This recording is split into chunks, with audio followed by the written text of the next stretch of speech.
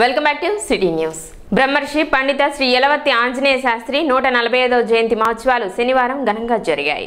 స్థానిక కవిరాజ పార్క్ రోడ్లోని శ్రీ యలవత్తి ఆంజనేయ శాస్త్రి విశ్వబ్రాహ్మణ సంస్కృత పాఠశాలలో జరిగిన ఈ జయంతి ఉత్సవాలకు ఎమ్మెల్యే అన్నావతిని శివకుమార్ ముఖ్య అతిథిగా పాల్గొన్నారు. జయంతి ఉత్సవాలలో భాగంగా ఐదుగురు విశ్వబ్రాహ్మణ యువకులు వేద సంస్కృత పాఠశాల విద్యార్థులకు ఉపనయన కార్యక్రమం నిర్వహించారు. ఎమ్మెల్యే అన్నావతిని శివకుమార్ యువకులకు ఆశీర్వచనం అందజేశారు. అదేవిధంగా సేవా కార్యక్రమాలలో భాగంగా ఇరువురు వికలాంగులకు ట్రైసైకిల్స్ పంపిణీ చేశారు. కార్యక్రమంలో సహాయ కమిషనర్ బొంతు మహేశ్వర్ రెడ్డి వెల్లంకి భవానీ శంకర్ ప్రసాద్ పాఠశాల చైర్మన్ నూతలపాటి సురేష్ బాబు ట్రస్టీలు ఆరికట్ల గోవర్ధన శాస్త్రి పెదపాటి నాగేశ్వరరావు నాయక్ ఉదయశంకర్ తదితరులు పాల్గొన్నారు. ఉపనయనక మహోత్సవాన్ని జరపడం జరిగింది. ఈ సందర్భంగా యావత్తు విశ్వబ్రాహ్మణ జాతి అంతా రావడం జరిగింది. ఇప్పుడు హోమ కార్యక్రమాలు కూడా ఉన్నాయి. తదనంతరము స్వామివారి తీర్థ ప్రసాదాలు ఇవన్నీ జరుగుతాయి. ముఖ్యంగా మా ఎమ్మెల్యే గారు వచ్చినందుకు సంతోషంగా ఉంది.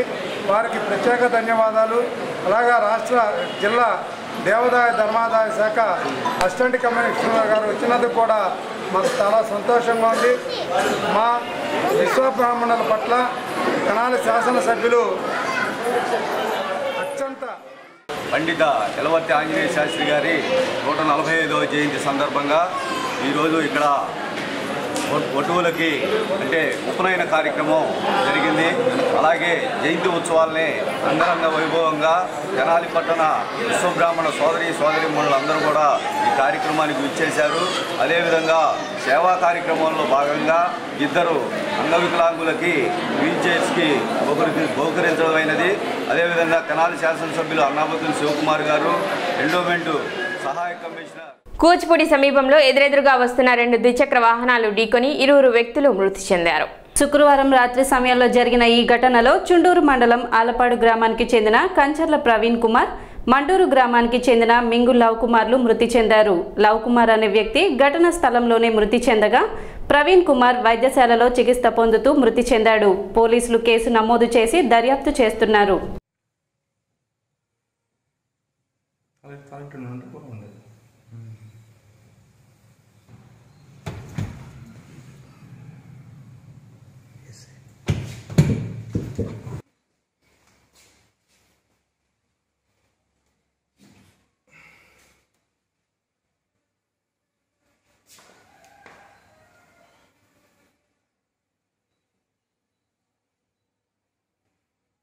NRK and KSR Gupta degree కళాశాలలో ప్రాంగణ ఎంపికల ద్వారా అరవై మంది విద్యార్థులు ఉద్యోగాలు సాధించినట్లు కళాశాల యాజమాన్యం తెలిపారు.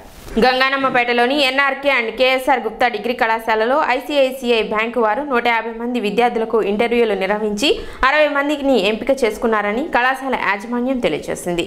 విద్యార్థులకు ఉన్నత ఉద్యోగాలు కల్పించడమే కళాశాల ముఖ్య ఉద్దేశమని వారు తెలిపారు. శ్రీరాములు ఎడ్యుకేషనల్ సొసైటీ అనుబంధ సంస్థ అయిన NRK and KSR Gupta degree కాల కా- కాలేజీలో ఈరోజు ఐసిఐసిఐ బ్యాంక్ తరపున ఇంటర్వ్యూస్ కండక్ట్ చేయడం జరిగిందండి. దీంట్లో మా డిగ్రీ కా కాలేజ్ నుంచి ఎవరైతే ఫైనల్ ఇయర్ చదువుతున్న స్టూడెంట్స్ ఉన్నారో వీళ్ళందరూ పార్టిసిపేట్ చేయడం జరిగింది. ఇందులో సిక్స్టీ మెంబర్స్ పైగా అరవై మంది పైగా విద్యార్థులు సెలెక్ట్ కావడం జరిగింది. ఫైనల్ రౌండ్ కూడా ఇక్కడే జరిగింది. సో ఈ ఫైనల్ రౌండ్లో సెలెక్ట్ అయిన విద్యార్థులకి ట్రైనింగ్ అనేది జరుగుతుంది.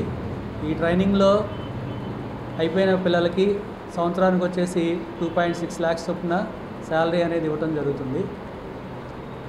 సో మా కాలేజీ తరఫున ఇంతమంది సెలెక్ట్ కావడం అనేది మా కాలేజీ అధ్యాపకులకు తర్వాత మేనేజ్మెంట్ వాళ్ళకందరికీ మేము ధన్యవాదాలు తెలియజేస్తాం సో ఇవాళ మేము ఇవాళ గుప్తా కాలేజ్కి రావడం జరిగింది ఐసిఐసిఐ బ్యాంక్ నుంచి.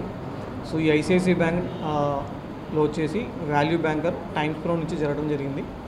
సో ఇందులో వచ్చేసి మల్టిపుల్ పొజిషన్స్ ఉంటాయి. క్యాషియర్ హెల్ప్ డెస్క్ టెల్లర్ ఇలాగే బ్యాక్ ఎండ్ ఆపరేషన్స్ సో దాదాపుగా నూట యాభై మంది పైనే దీనికి అటెండ్ అయి ఉన్నారు. సో ఓవరాల్గా సిక్స్టీ పర్సెంట్ పీపుల్ సెలెక్ట్ అయి ఉన్నారు ఇందులో. సో ఫైనల్ రౌండ్స్ అని ఇక్కడే జరిగినాయి. సో ఎవరైతే సెలెక్ట్ అయ్యారో వాళ్ళకి నెక్స్ట్ ట్రైనింగ్ అనేది స్టార్ట్ అవుతుంది. గత ఐదు నెలలుగా హార్వెస్ట్ ఇండియాకు ఎఫ్సిఆర్ఏ నిలుపుదల చేసినప్పటికీ ఎన్నో కష్టనష్టాలకు వచ్చి సామాజిక సేవా కార్యక్రమాలు నిర్వహిస్తున్నట్లు హార్వెస్ట్ ఇండియా అధినేత డాక్టర్ కత్తెర సురేష్ కుమార్ తెలిపారు.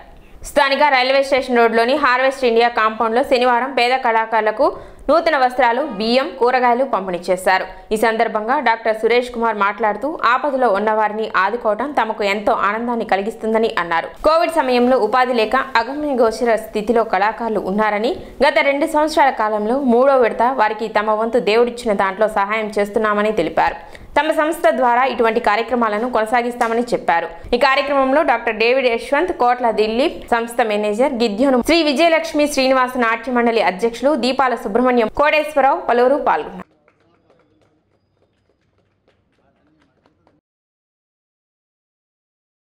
ఈరోజు హార్వెస్ట్ ఇండియా ద్వారా పేద కళాకారులకి ఈ యొక్క తెనాలి పట్టణంలో ప్రత్యేకంగా గడిచిన రెండు సంవత్సరాల నుంచి దరిదాపుగా ఈ యొక్క కోవిడ్ వలన ఎలాంటి ఉపాధి లేకుండా ఉపాధి కోల్పోయి నాటకాలు లేకుండా ఈరోజు వారి యొక్క పరిస్థితి అగమ్యగోచరంగా ఉన్నటువంటి పరిస్థితి.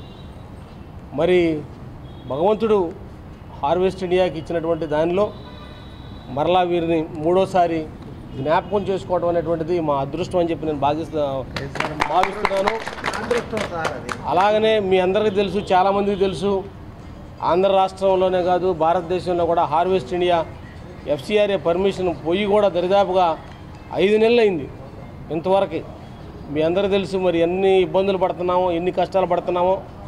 కానీ అయినప్పటికీ ఏ పని ఏ యొక్క సాంఘి సాంఘిక కార్యక్రమాలు పేదల విషయంలో సహాయం చేయడానికి ఆగకుండా మరి హార్వెస్ట్ ఇండియా ఇప్పటి వరకు కూడా మరి ముందుకు రావటం సహాయం చేయటం ఆదుకోవటం అనేటువంటి దాంట్లో ఉన్నటువంటి తృప్తి మరి ఏది లేదని చెప్పేసి మేము నమ్ముతూ ఆంధ్రప్రదేశ్లో మూడు సార్లు ఎవరికి ఏ ఆర్టిస్టులకు ఇవ్వలేదు. ఇది చాలా అదృష్టంగా మేము భావిస్తున్నాం. ఎందుకంటే కళాకారుల మనస్తత్వం తెలిసి నన్ను ఎప్పుడు నాలుగైదు సార్లు ఒకసారి ఫోన్ చేస్తున్నా నేను. సారే అబ్బాయి సుబ్రహ్మణ్యం ఎలా ఉన్నారు? ఏంటంటే ఇంకా నాటకాలు స్టార్ట్ అవ్వలేదండి అన్న. మనం ఒకసారి చేద్దాంలే సుబ్రహ్మణ్యం. ఎంత మంచిగా మాట్లాడతారు. ఎప్పుడన్నా నేను ఫోన్ చేస్తే ఈ విషయం ఎత్తుతుంటే వద్దు సార్ మీతో మాట్లాడాలని నేను మాట్లాడతానని అంత కళాకారులు అంటే అంత ప్రేమ. ఆ ప్రేమకి నిదర్శనం ఇది మూడోసారి ఇవ్వటం. ఇది మా శ్రీ విజయలక్ష్మి శ్రీనివాస నాట్య మండలి ఆర్టిస్టులకి అదృష్టంగా భావిస్తున్నాను. శ్రీ పుష్పగిరి మఠాధీశ్వరులు శ్రీ శ్రీ శ్రీ విద్యాశంకర భారతి స్వామి వారు వేదిక్ బ్రాహ్మణ సేవా సమాఖ్యకు సమర్పించిన ఐదు వందల గజాల స్థలంలో సమాఖ్య ఆధ్వర్యంలో విద్యాశంకర నృసింహ భారతి సదన భవన నిర్మాణం చేపట్టేందుకు శనివారం భూమి పూజ నిర్వహించారు. తెనాలి పట్టణ పరిసర గ్రామాల్లోని బ్రాహ్మణ శాఖీయులు శుభకార్యాలు జరుపుకున్నట్టుకు వేద పాఠశాల నిర్వహణకు ఈ భవనాన్ని నిర్మించి సంకల్పించినట్లు సమాఖ్య ప్రధాన కార్యదర్శి తాడేపల్లి సూర్యనారాయణమూర్తి తెలిపారు. ప్రముఖ ఆధ్యాత్మిక ప్రవచన బ్రహ్మ నోరి నారాయణమూర్తి మంగళాశాసనాల నడుమ స్మార్త ఆగమ పండితులు వాస్తు శాంతి హోమాలు భూశుద్ధి కార్యక్రమాలు జరిపారు. పలువురు దాతలు నగదు చెక్కుల రూపంలో విరాళాలను సమర్పించారు. మరికొందరు విరాళాలను సభాముఖంగా ప్రకటించారు. కార్యక్రమంలో ప్రొఫెసర్ విరాట్ల నారాయణమూర్తి సమాఖ్య కోశాధికారి తురిమెళ్ళ దక్షిణామూర్తి ఉపాధ్యక్షులు కామేశ్వరరావు తిరుమలరావు వేణుగోపాల్ సంయుక్త కార్యదర్శులు నాగేంద్ర గిరిధర కిషోర్ అనిల్ కుమార్ వేణుధర్ న్యాయవాది విశ్వేశ్వర శాస్త్రి పోలిపిద్ది రామకృష్ణ మేడూరి శ్రీనివాసమూర్తి విరాట్ల వెంకటరమణ తదితరులు ప్రసంగించారు.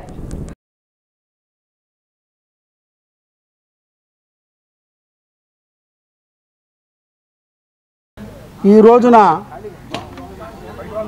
తెనాలి నాదరపేట అనుగోలు వారి వీధిలో గల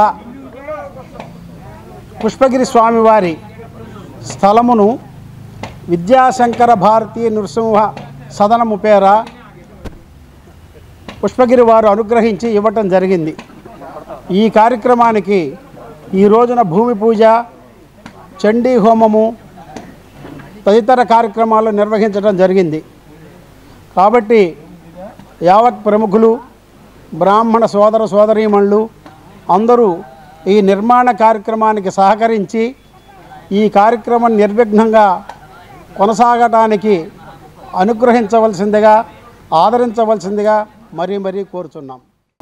పరమ పావనమైనటువంటి వైదిక ధర్మాన్ని ప్రతి వ్యక్తి ఆచరించాలి. వైదిక మార్గమే అత్యంత ఉత్తమమైనటువంటిది. వైదిక మార్గం కాకుండా మిగిలినటువంటి ఏ మార్గాలు అనుసరించినా అది మానవ జన్మకు అనుసరణీయమైనటువంటిది కాదు. కాబట్టి అలాంటి వైదిక ధర్మాన్ని ఈ లోకంలో నిరంతరము ఇలా ప్రవహించేటువంటి విధంగా ధర్మాన్ని ఆచరించేటువంటి విధంగా చేయడానికి తెనాలిలో వైదిక్ బ్రాహ్మణ సేవా సమాఖ్య అవతరించింది. తెనాలి పట్టణంలోనే కాక మిగిలినటువంటి ప్రతి చోట ఉండేటువంటి బ్రాహ్మణ కుటుంబములన్నీ శుభకార్యములన్నీ జరుపుకోవడానికి వైదిక ధర్మాన్ని నిరంతరం ఉద్ధరింపచేయడానికి. మధుమేహం నియంత్రణలో ఉంచుకుంటే కంటి చూపు పదిలంగా ఉంటుందని ఎల్వి ప్రసాద్ సంస్థ విజన్ కోఆర్డినేటర్ విజయ్ అన్నారు.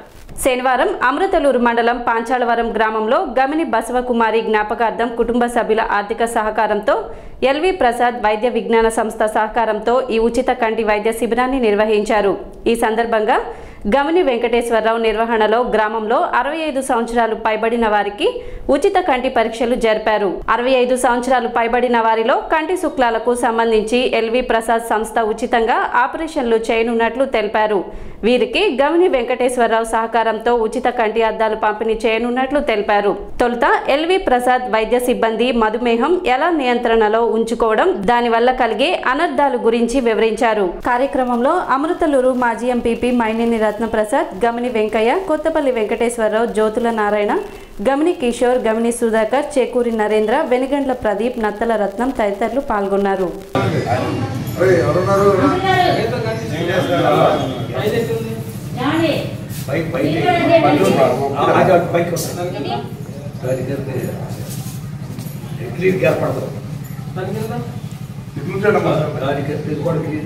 బయట ఉంటే బాగా కనపడదు ఆ రోడ్డు తక్కువ ఇప్పుడు కనపడుతుంది ఇక అటు ఇటు ఉంది చెప్పండి. ఈరోజు పాంచాలవరం గ్రామంలో మరి కరోనా సందర్భంగా రెండు సంవత్సరాల నుంచి మరి మా మిత్రబృందం సహకారంతో ప్రతి గ్రామంలో ఏర్పాటు చేసే ఉచిత వచ్చే కంటి వైద్య శిబిరం వీళ్ళది గోడవల్లి ఎల్వి ప్రసాద్ వారి సహకారంతో ప్రతి గ్రామంలో కూడా మేము ఏర్పాటు చేస్తాం. మరి ప్రప్రదంగా మరి ఎలవరు ఎలవరు ఈ పాంచాలవరం గ్రామంలో ఈ క్యాంపు గవిని బసవ కుమారి గారి జ్ఞాపకార్థం మరి మన గవిని వెంకటేశ్వరరావు గారు ఏర్పాటు చేశాడు.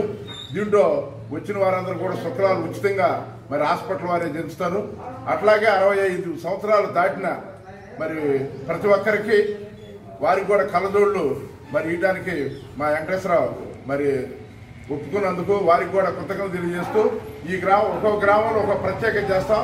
దానిలో భాగంగా పంచాడంలో ప్రత్యేకంగా మరి శుక్లాలు తీయటం మరి అట్లాగే అరవై ఐదు సంవత్సరాలు దాటిన పెద్ద పేదవాడికి మరి కలజోడి ఇవ్వటం అనేది ఈ కార్యక్రమాన్ని మరి సహకరిస్తున్న మా మిత్ర బృందానికి ముఖ్యంగా వెంకటేశ్వరరావు గారికి కృతజ్ఞత తెలియజేసుకుంటూ మరి దీనికి సహకరించే ఎల్వి ప్రసాద్ ప్రత్యేకంగా గోడవల్లి వారి వారికి కూడా ప్రత్యేకంగా ఎల్వి ప్రసాద్ సిబ్బందికి కూడా కృతజ్ఞత తెలియజేస్తున్నాను సిటీ న్యూస్ ముగించే ముఖ్యాంశాలు మరోసారి.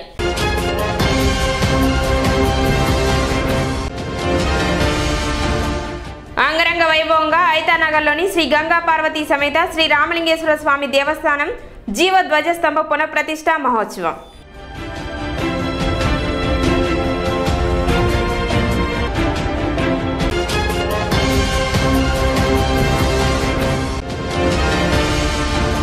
గ్రామ రెవెన్యూ సహాయకులకు ఇచ్చిన హామీలను ప్రభుత్వం అమలు చేయాలి. Mulaka Sivasami Reddy demand.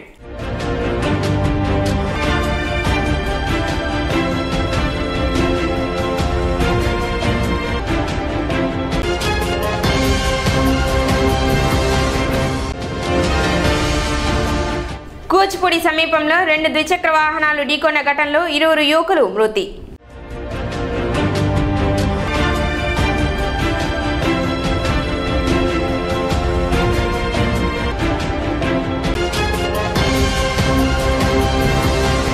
City news ఇంతటితో సమాప్తం. నమస్కారం.